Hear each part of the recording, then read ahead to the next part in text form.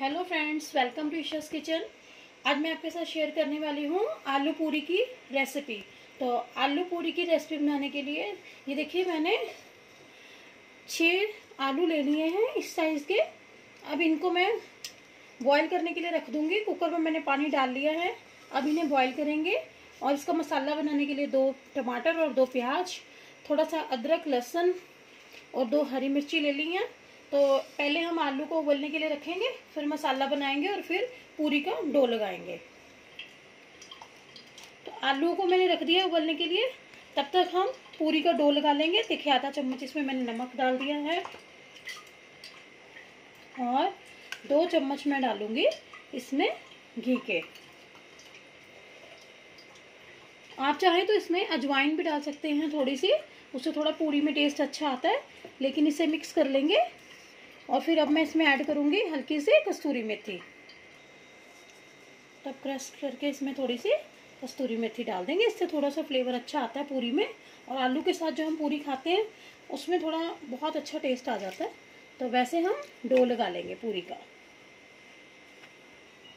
पूरी का डो मैंने लगा दिया है और ये डो हम नॉर्मल रोटी से थोड़ा सा हार्ड लगाते हैं। इससे पूरी बहुत अच्छे से बनती है फूल के। तो अब इसे दस पंद्रह मिनट के लिए रेस्ट पे रख देंगे ढक के तब तक हम आलू की सब्ज़ी बना लेंगे। तो आलूओं को मैंने बॉईल कर लिया है ये देखिए। अब मैं आलूओं को छील लूँगी और ये मसाला भी मैंने तैयार कर लिया है चॉप करके। तो पहले आलूओं को छील लेंगे फिर तड़का लगाएँगे। तवा है।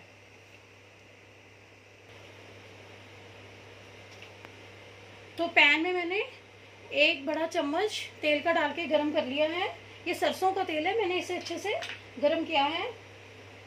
तो अब पहले हम इसमें जीरा डाल लेंगे। तो ये मैंने एक बड़े चम्मच के करीब इसमें जीरा डाल दिया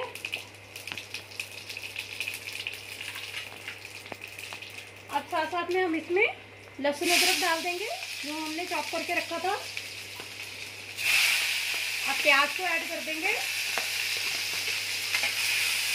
अच्छे से भून लेंगे मसाले को।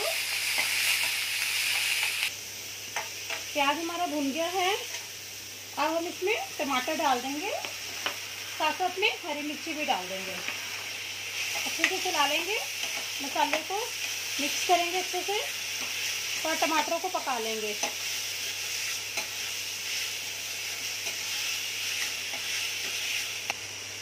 अब इसके अंदर वन फोर्थ मैं डाल रही हूँ हल्दी।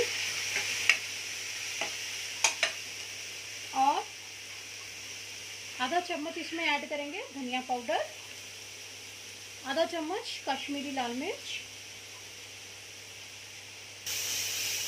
देखिए कितना अच्छा हमारा मसाला भुन गया है। अब इसमें ऐड कर देंगे आधा चम्मच नमक का। मिक्स कर लेंगे। अब मैं इसके अंदर थोड़ा सा पानी डाल दूँगी।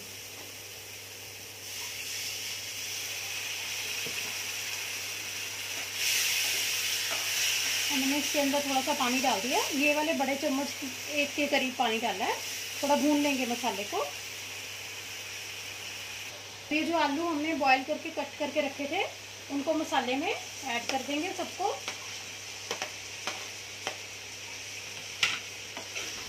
मसाले में मिलाएँगे आलूओं को अच्छे से।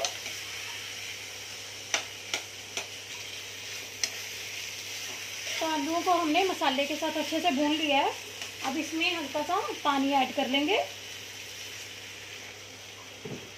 तो मैंने ये आधे ग्लास के करीब पानी ऐड कर दिया है, थोड़ा इसमें ग्रेवी बनाने के लिए। सब्ज़ी हमारी बनके तैयार है, अब इसमें वन फोर्थ स्पून में इसमें आमचूर ऐड कर दूँगी, आमचूर का पाउडर। और थोड़ा सा इसमें वन फोर्थ के हिसाब से मैंने इसमें डाल दिया है गरम मसाला। अच्छे से मिक्स करेंगे।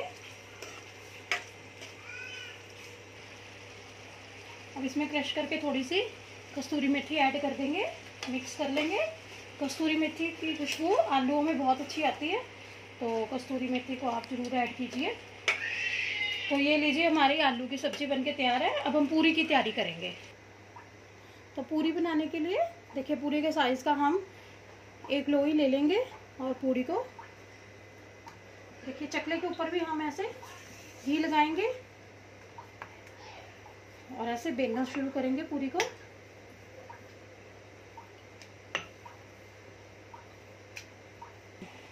अब कढ़ाई में मैंने, देखिए, रिफाइंड को गर्म कर लिया है। तो ये थोड़ा सा हम इसमें आटा डाल के देख लेंगे कि हमारा रिफाइंड अच्छे से गर्म हो गया या नहीं। तो देखिए, रिफाइंड हमारा कितना अच्छा गर्म हो गया। अब हम इसके अंदर पूरी को डाल के तल लेंगे।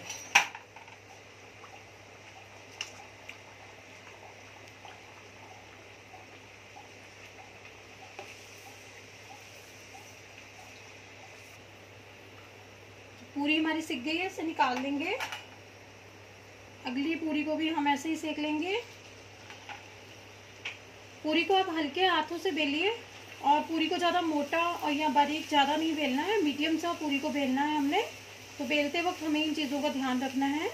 देखिए, पूरी हमारी कितनी अच्छे से फूल गई है। देखिए, पूरी हमारी बहुत अच्छे फूल के तैयार हुई है।